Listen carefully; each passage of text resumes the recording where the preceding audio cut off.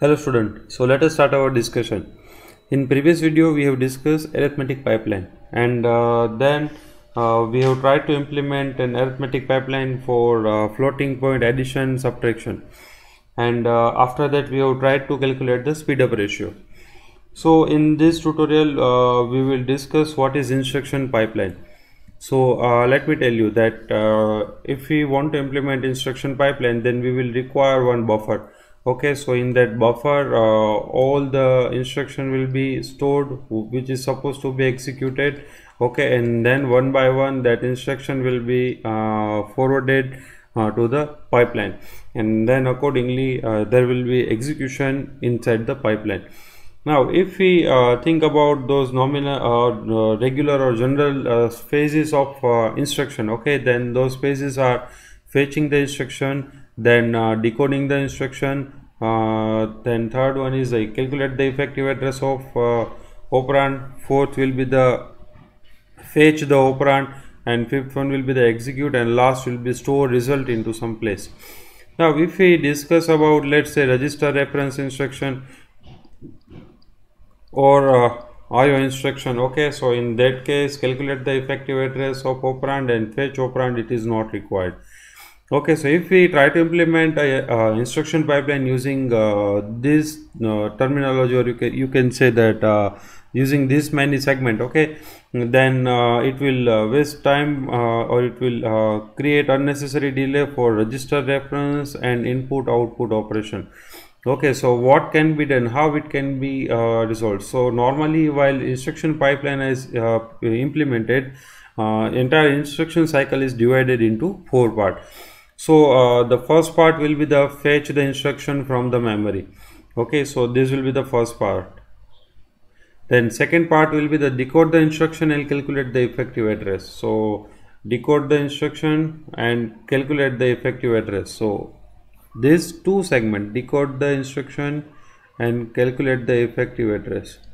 So these two will be much okay? Why? Because uh, in many instruction uh, this effective address is not required next stage is uh, fetch operand from the memory. So in next stage may uh, next segment fetch operand fetch operand from the memory. And last segment will be the execute the instruction. So execute the instruction. There is no need of uh, separate segment which uh, used to store the mm, data into the memory. Why? Because input output operations are time consuming. So it also it may also generate the unnecessary delay into the pipeline. So uh, let us try to implement uh, this uh, uh, instruction pipeline and let's have a look at how it will how it will be executed or how it will be monitored. Now dear learners let's have a look at the flow chart of instruction pipeline. Here first segment is fetch instruction from memory decode instruction and calculate the effective address. If there is branch no there is no branch. Then fetch operand from the memory then execute the instruction and then uh, we will check whether there is interrupt or not. If you try to recall the interrupt cycle then uh, you uh, you have seen that uh, while instruction is being executed at that time uh, we will check the interrupt whether the interrupt is uh, there or not. Okay so let us assume that there is no interrupt.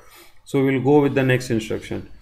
And let's say there is a branch instruction. So what will happen? Whatever instruction has entered into the pipeline okay so in case of branch instruction first the value of program counter will be updated and then whatever instruction has entered into the pipeline after the uh, this instruction or branch instruction okay it will be removed from the branch. And uh, whatever instructions are uh, after the branch instruction or which or whatever instruction are in the segment uh, proceeding the uh, branch segment okay then all those uh, instruction will be executed normally.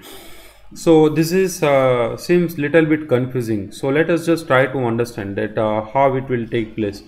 So uh, these all are the instruction 1 2 3 4 5 6 7 8 and uh, let's say that a branch uh, third instruction is the branch instruction which i have marked with some different color.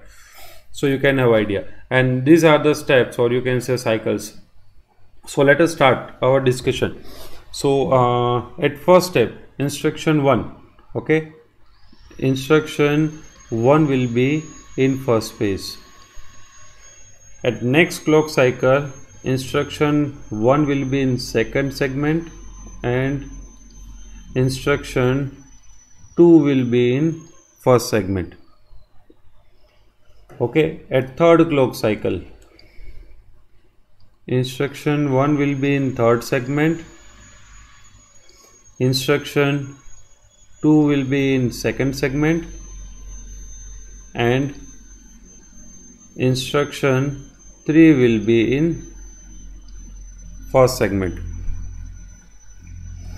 Now in next clock cycle instruction 1 will be in fourth phase instruction 2 will be in third phase or third segment and instruction 3 will be in second stage uh, second segment. So after this after completion of this segment in next cycle we will decide whether there is a branch or not. So at next clock cycle what will happen? Uh, instruction 1 is already over. So it will it will be out from this uh, instruction pipeline. Now instruction uh, 2 will be in last stage. So instruction 2 will be in fourth segment. Then uh, instruction 3 will be in second segment. Uh, sorry in third segment. And new instruction will enter that instruction okay here uh, instruction 4 will enter into the first phase we forgot to mention it.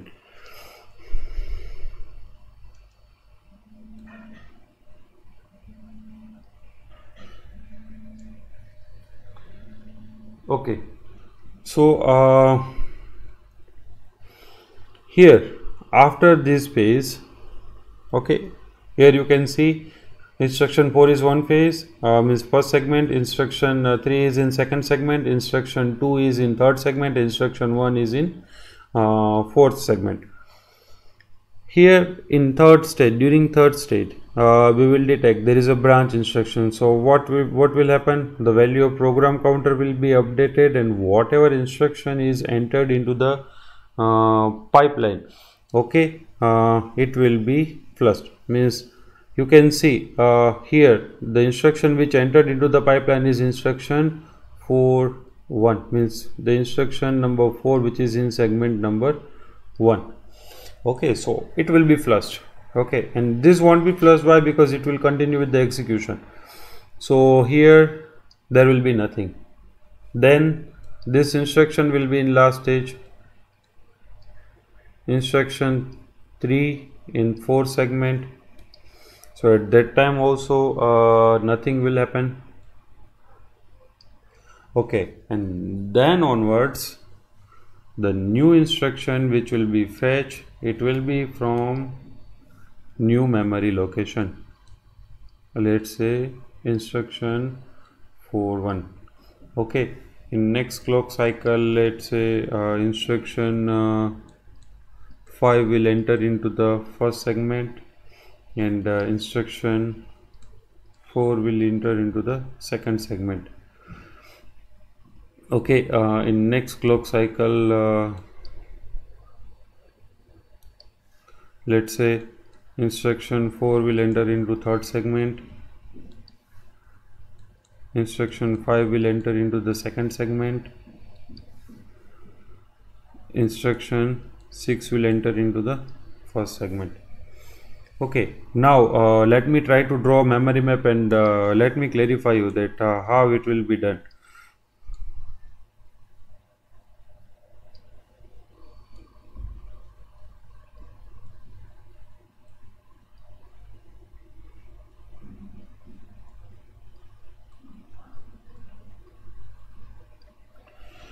so let me write down those instruction numbers uh, let's say this is instruction number one two three four and these are the instruction number one two three four five. Okay. So at first stage at, at first second this will be in segment 1 at second stage this will be in segment 2 and this will be in segment 1 at next clock cycle this will be in segment 3 this will be in segment 2 and uh, this will be in segment 1 at next clock cycle this will be in segment 4 this will be in segment 3 this will be in segment 2 and this will be in segment 1 now we people know that uh, this instruction 3 is the branch instruction. So uh, let's see what happens in next clock cycle. Means after segment 2 next clock cycle if it is branch instruction then uh, we will continue with the execution of segment uh, means second instruction which is segment 4 so segment 4 execution will be or here this will enter into segment 3 and whatever instruction which is entered from memory location 4 it will be removed from the pipe. And uh, then again uh, we will value the update of uh, we will update the value of uh, program counter. So let's say we are jumping to this location. So in segment 5 uh, means at, at fifth stage uh, this will be empty. Means the after discarding we will not allow any new instruction to enter into the pipeline. Then at segment uh, means in next clock cycle this instruction will be in last stage. And specifically you can see in six uh, step at next clock cycle after updating the value of program counter this instruction 4 will be uh, from location this. Okay? It won't be from this location. Okay? It will be from this location. Why? Because uh, we have updated the value of program counter. Clear with this? So then onwards uh, the execution will continue as on okay, so this is how instruction pipeline is implemented. In next uh, tutorial uh, we will try to discuss that uh, what which are the various pipeline conflict and uh, how it can be resolved. Okay so in this tutorial we will keep up to this. Thank you